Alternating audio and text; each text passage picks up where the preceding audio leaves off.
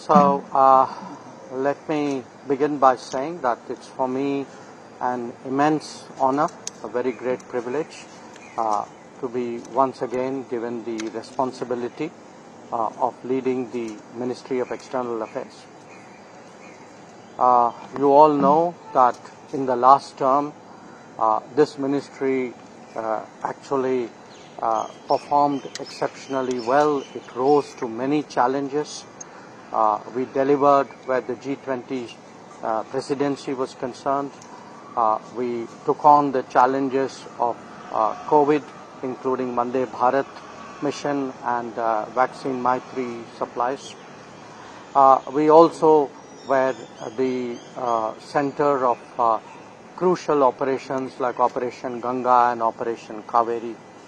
So, quite apart from the normal diplomacy, I think uh, I have really uh, deem it a matter of great satisfaction that in the last decade, uh, this ministry under the leadership of Prime Minister Narendra Modi has become a very people-centric ministry. You can see that in terms of our improved passport services, uh, in terms of the community uh, welfare fund support that we give to Indians abroad, uh, in terms of how we respond to uh, different uh, you know needs of Indians when they leave our shores or preparing to leave our shores, and the manner in which uh, we work with other ministries uh, in getting investments, uh, in promoting our exports, in in enhancing our tourism flows. So, so this has been the record so far. Looking ahead, uh, definitely, I think uh, the two axioms that the Prime Minister has given us, Bharat first and Vasudhaiva Kutumbakam, these will be the two guiding axioms of the Indian foreign policy. So, uh, and together, uh, we are very confident it will position us uh, as Vishwabandhu, uh, a country which is in a very turbulent world, in a very divided world, a world of conflicts and tensions. Uh, it would actually uh, position us uh, as a country which is trusted by many, which whose prestige and influence will grow, whose interests will be advanced, and I once again deem it an enormous honor uh, to be assigned the responsibility of leading this ministry. Uh, I have two uh, very good colleagues who will be joining me as Minister of State, and uh, uh, I, of course, uh, am uh, enormously uh, strengthened by the fact that we have a very dynamic and talented Indian Foreign Service, uh, which has always uh, risen to the challenges, which has always been very committed uh, to taking our national interests forward. So, uh, really a great pleasure to meet you all on my first day of work, uh, and thank you very much for coming here so early. Thank you. Uh, so you hopeful that UNSC seat will be possible in next five years under your tenure? I, I think uh, for us, uh, the, the role of in India, the influence of India, uh, that has been steadily growing, uh, not just, uh, you know, uh, in terms of our own perception, but अगर आप देखें दूसरे देश हमारे बारे में क्या कहते हैं उनको भी लगता है कि आज भारत जो है सचमुच उनका मित्र है अ, उन्होंने देखा है कि संकट के समय में कि अगर एक देश ग्लोबल साउथ के साथ खड़ा है तो वो भारत है। उन्होंने देखा है कि जब जी ट्वेंटी की अध्यक्षता के समय में हम लोगों ने अफ्रीकन यूनियन की सदस्यता को आगे किया था तो दुनिया हम पर विश्वास करती है और हमारी जिम्मेदारियाँ भी बढ़ रही हैं। तो हम, ये भी हमें विश्वास है कि मोदी जी के नेतृत्व में भारत की जो पहचान जो है दुनिया में वो बढ़ेगी ज़रूर। और यूएनएससी का सवाल आपने उठाया पर उसके अलग अलग और भी पहलू हैं और मुझे पूरा विश्वास है कि उनके नेतृत्व में मोदी 3.0 की विदेश नीति जो है बहुत सफल होगी।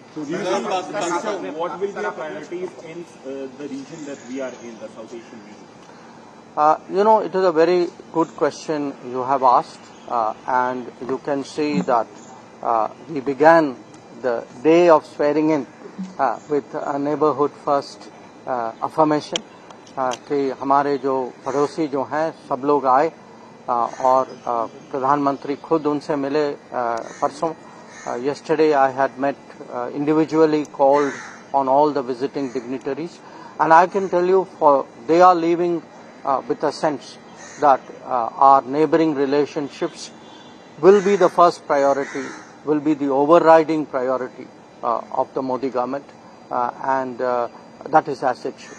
Sir Nawaz Sharif ने कहा कि भारत के साथ वो पॉजिटिव रिश्ता चाहते हैं। इंडिकेट वो चाहते हैं कैसा तो क्या पाकिस्तान के साथ भी आप कुछ पॉजिटिव स्टेप उठाएँगे? और आपने अपने फ़र्स्ट टर्म में कहा था सर कि पीओके वो हम लेके रहेंगे। क्या इस टर्म में हम देखेंगे कि पीओके हम नहीं देखिए मैंने मैंने फ़र्स्ट में जो कहा वो आप भी जानते हैं मैं भी जानता हूँ तो मेरे मुँह में आप शब्द न डालें।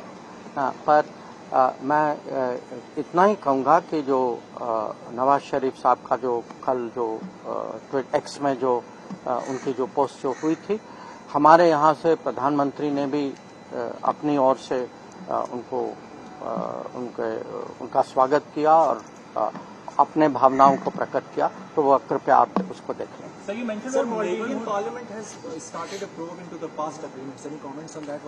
No I I I we had a very good meeting with president Muizzu prime minister also met him and I also had the honour to call him so I would prefer to be guided by what is my experience and my conversation sir अगले पाँच साल में चीन हो या पाकिस्तान हो अगले पाँच साल में दोनों देशों के साथ भारत के संबंध को आप कहाँ देखते हैं? देखिए मुझे लगता है कि अ, किसी भी देश में और खासकर डेमोक्रेसीज में एक सरकार को लगातार तीन बार इलेक्ट होना यह बहुत बड़ी बात है। तो दुनिया को ज़रूर लगेगा कि आज भारत में पॉलिटिकल स्टेबिलिटी बहुत है। भारत की पब्लिक जो है अपने प्रधानमंत्री पे बहुत विश्वास करती है। और अभी तक पिछले दस साल में जो उन्होंने हमारा रिकॉर्ड देखा है तो वो भी उनको भी पता होगा कि हम सचमुच हमारी कोशिश है कि अ, दुनिया के साथ हम अपने हित तो ज़रूर आगे रखेंगे पर जो हमारा योगदान होगा वो उसमें भी हम कहीं कम नहीं पड़ेंगे। और जो आपने पाकिस्तान और चाइना के बारे में कहा, वो अलग देश हैं, रिश्ते भी कुछ अलग हैं, वहाँ जो समस्या जो है वो भी कुछ अलग है।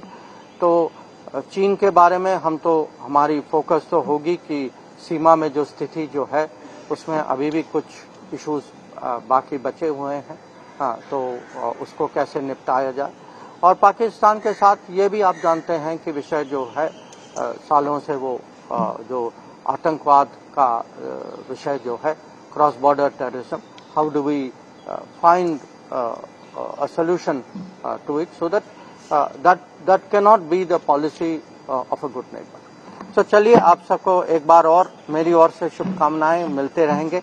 So thank you very much for as I said for coming here so early and wish you best ஏழை குழந்தைகளின் அடிப்படை கல்விக்காக உதவ single teacher schools dot ORG இணையதளத்தை தொடர்பு கொள்ளுங்கள்.